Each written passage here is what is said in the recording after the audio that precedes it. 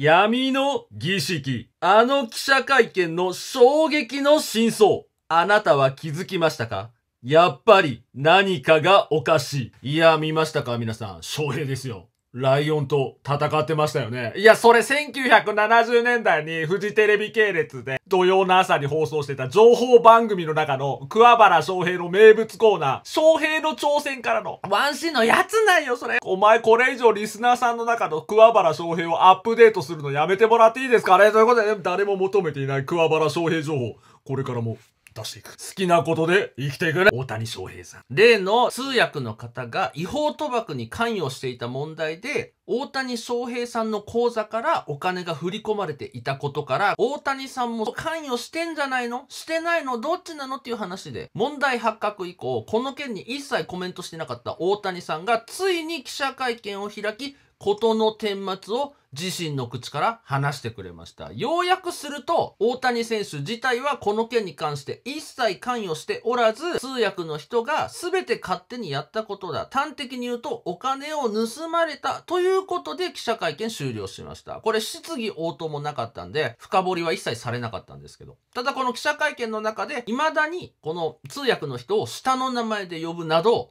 まあもちろんされたことはひどかったけど、本人に対しての感情っていうのはまだあるのかななんていうのを見え隠れしたわけなんですけども、まあちょっといろいろと疑問が残るんですよね。今回、この大谷さんの口座から送金されたお金、総額7億円だそうなんですけど、これをなぜ通訳は自由に引き下ろすことができたのかっていう話なんですよ。ただ調べるとですね、アメリカには銀行口座、口座名義主が代理人権、振込代理権を付与できるっていう法律があるらしくて、最大50万ドルまで代理人に任命された人はいけるよっていう、まあ、制度があるらしいんで、一応法律的には可能だよって話なんですけど、問題はこのような大金が動いていたことを専属の、例えば税理士とかね、スタッフの人は知ってたんじゃないのかっていう話なんですよね。そうなってくると、なぜ途中でこれを止めることができなかったのか、などなど疑問は残りますよね。有名インフルエンサーの青汁王子さんが、アメリカにも知り合いが多くいて、この通訳の人と近しい人とコンタクトを取ったと。すると、この通訳は私が全部被ったって言ってたよってことを発信して大問題になったわけなんですよ。で、これ後にですね、彼はギャンブル依存症で借金で首が回らなくなって、周囲に嘘ばかりついていたんじゃないのかっていう話が今持ち上がってて、まあこれもおそらく虚偽発言だったのかなっていう話なんですよね。まあ一応ですね、アメリカの一部世論は、あくまでもも大谷は知ってたんだみたいな報道をしていて、前も言いましたけど、アメリカ人の魂である野球がアジア人に活躍されるのが面白くない人もやっぱり一定数いたんだろうなと。そういったところで、この大スターの転落っていうものを見たい人々が、まあ、そういった記事、ニュースを求めていたんだなっていうすごい闇の部分を感じたわけなんですけど、まあ私この動画でも話しましたが、まあ大谷さんの活躍っていうのは、これ、ある意味で解放につながると思っているわけです。なぜなら、野球というのは、実は、フリーメイソンの儀式であるという話。そもそも日本に野球が入ってきたのって、まあ明治維新直後なんです。で、これは有名な話ですけど、俳句の正岡子規がこの野球っていう言葉を、まあ、翻訳したって言って有名なんですよね。まあ、本当は別の人が野球って言葉作った説もありますけど、この功績を認められて、正岡式は野球選手でも何でもないのに、野球の殿堂入りしてます。なんですが、当時の東京大学って、もちろん日本中のエリートが集ってましたけど、明治維新の時に横浜にひっそりと開設されたフリーメイソンのロッジ。実は東京大学のエリー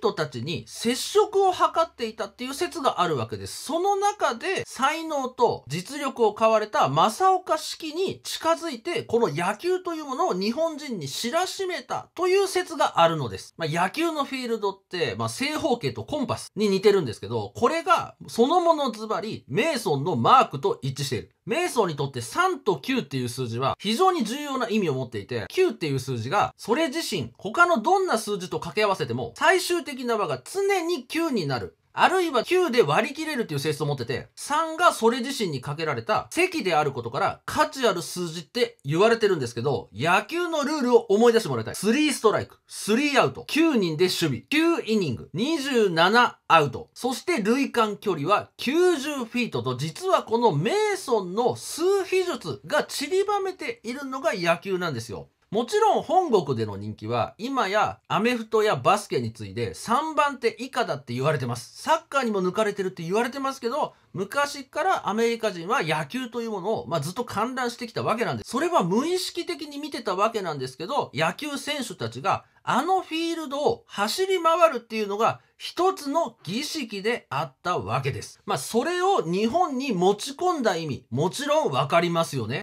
第二次大戦後、米軍の社宅の一室で、ある芸能事務所が作られました。それ後にジャニーズって呼ばれるんですけど、彼らは野球チームとして最初発足したんですよ。この元社長はあの国のエージェントだったってことはほぼ確実視されていて、後に GHQ が日本人に課した 3S 政策の一端を担うべくアイドル事務所を巨大化させていったっていう話なんです。すべては野球が始まりだったと。そして満州人脈とよく言われる安倍首相のおじいちゃん。岸信介さんですけど、まあ彼も本当は永久戦犯として処されるところをエージェントとして働くことを条件に許されたって話。後に彼は首相官邸、国会議事堂を囲む多くの安保反対のデモ隊を見ながら、岸信介はそれでも後楽園球場は満杯だよって言葉を残しています。これ何を示してるかっていうと、明治維新以降野球というものが日本に浸透していき、第二次大戦以降、この野球というものを民衆のコントロールに使っていたと、そのことを示す一言だと私は思っております。まあ、そんな野球ですけど、もともとあの国の人々のものだったのが、今や東アジア地域でもスター選手がいっぱい出てきて、その中でも突出した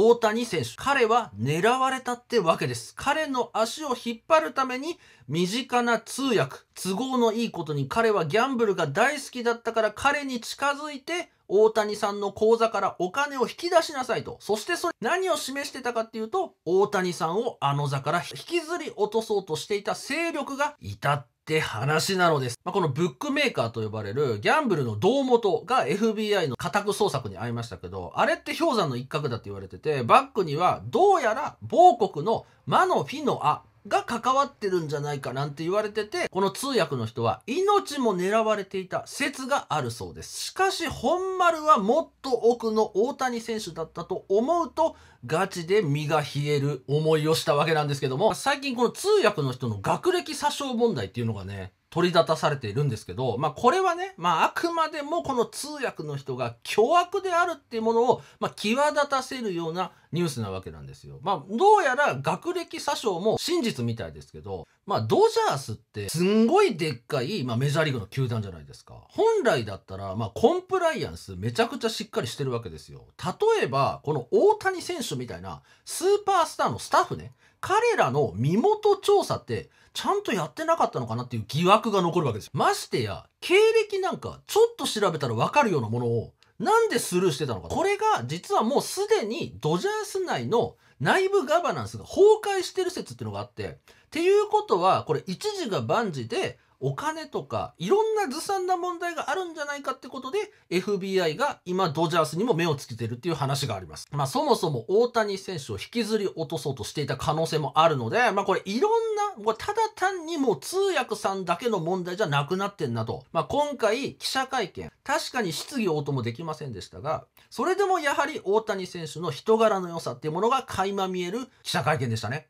実はこの話を聞いたのって、つい数週間前、韓国で遠征してた時のロッカールームだったそうです。その後に、このロッカールームから大谷選手のうめき声とも怒鳴り声とも知れぬ声が響き渡ったということを聞いてる人がいます。まあ、よく成人君子だって言われる大谷選手も、さすがに寝耳の水、そして信頼していた通訳の人のこの行為には怒りが出たんだなと思って、それもちょっと人間らしいなって思ったわけなんです。まあ、同じく人間らしいなといえばね、ギャンブルといえば粗品ですけどね、霜降り明星さん。彼もこの件について言及してて、これはいけませんよと、まあ、言及した上で、気持ちはわかるぞ、一平つって。いや、わかっとんかよ、お前。まあ、いろんな人の思いが交錯する今回の記者会見でしたが、まあ、そもそもこの野球自体に秘められた、まあ、闇の儀式というものがあり、そしてそこで動かされている選手、見させられている慣習、これすべて儀式の中の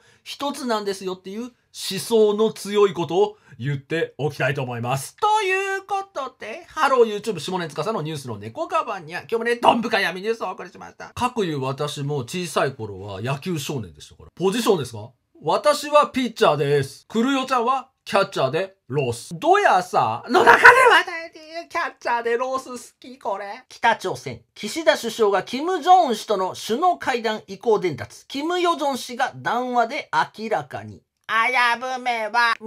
はなし。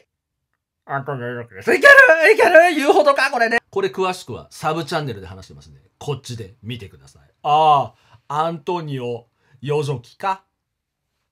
あ、ちょっとまこちゃん見あるな。これ、でことん、喫茶。